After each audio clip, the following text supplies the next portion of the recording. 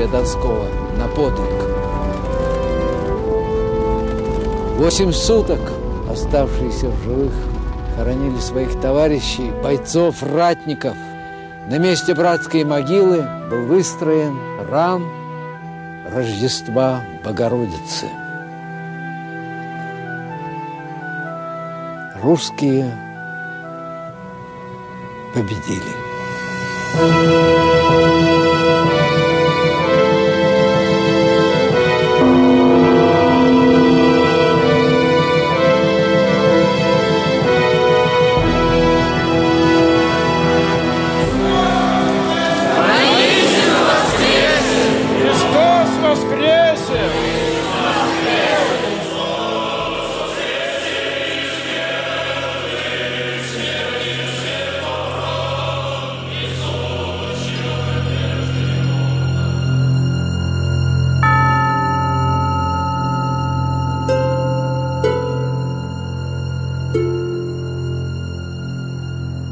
Дивно сказал о Святой Троице отец Павел Флоренский. Среди междуусобных расприй, всеобщего одичания и татарских набегов открылся духовному взору бесконечный, нерушимый мир. Вражде и ненависти противопоставилась взаимная любовь, струящаяся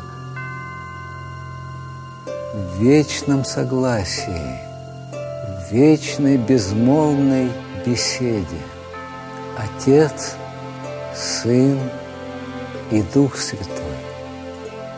Сергий Радонежский созерцал ее молитвенно, об ней беседовал со своим ближайшим учеником Никоном.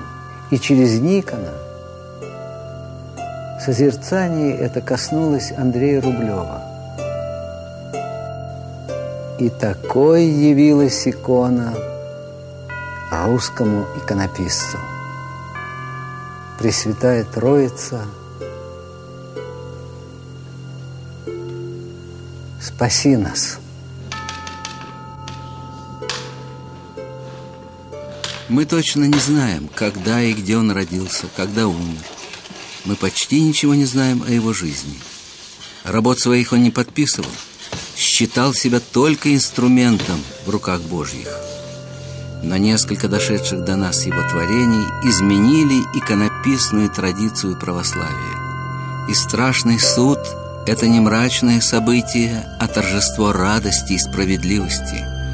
А Святая Троица – жертвенной чашей посередине, Христовой жертвой, пронизана гармонией мира и жизни.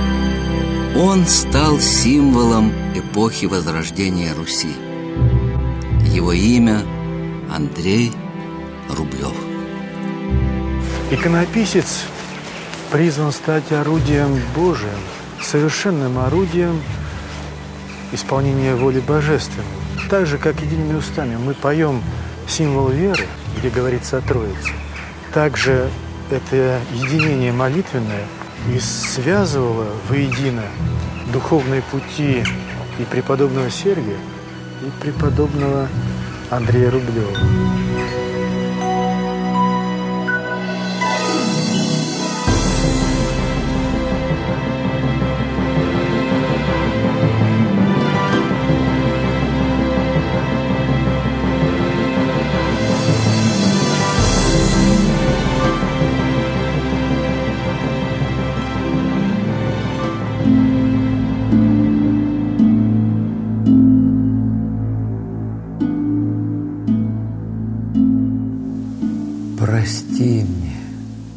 Великая Лавра Сергиева, если мысль моя с особенным желанием устремляется к древней пустыне Сергия.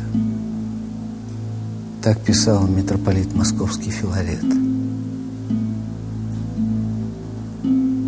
Кто покажет мне малый деревянный храм, на котором в первый раз наречено здесь имя Пресвятой Троицы.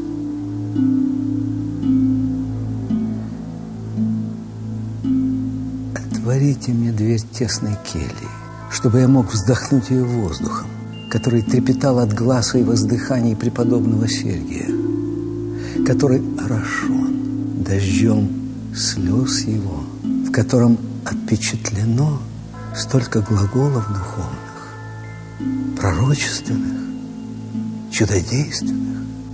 Дайте мне облобызать порог ее синей. Они истерты ногами святых, через которые однажды переступили стопы Царицы Небесные.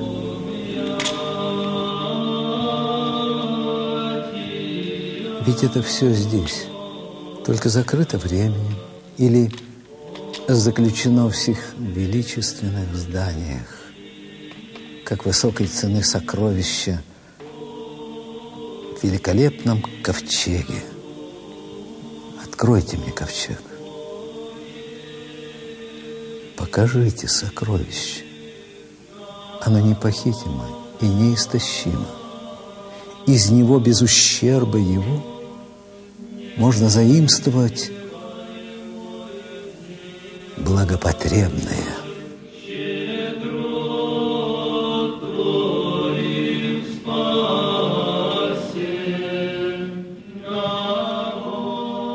Постережение в монахи – это обряд умирания для мира одного человека и появление на свет другого, преображенного. Это прообраз страшного суда и входа в жизнь вечную. Возьми ножницы и подашь мне я.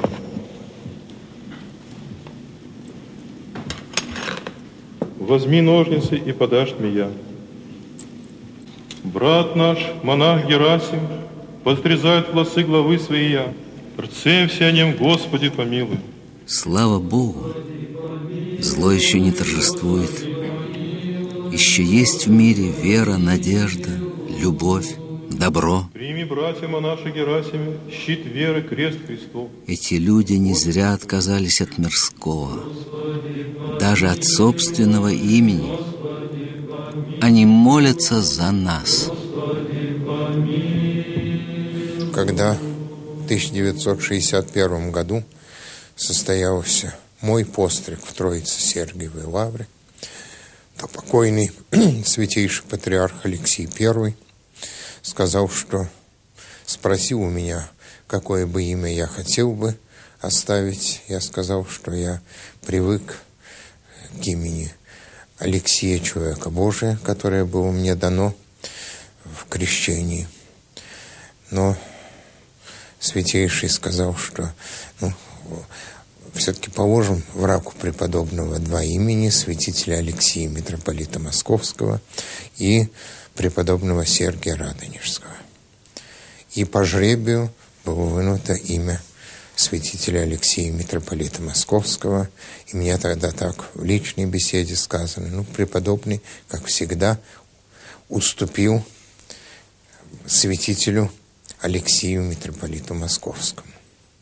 Лишний раз и деятельность преподобного Сергия Радонежского и святителя Алексея, митрополита Московского, указывают нам на сегодня, что нужно крепить единство, преодолевать ненавистную рознь мира сего. В этом залог будущего земли русской, в этом залог Святой Руси, которая возвращается к вере Христовой и к заветам преподобного Сергия.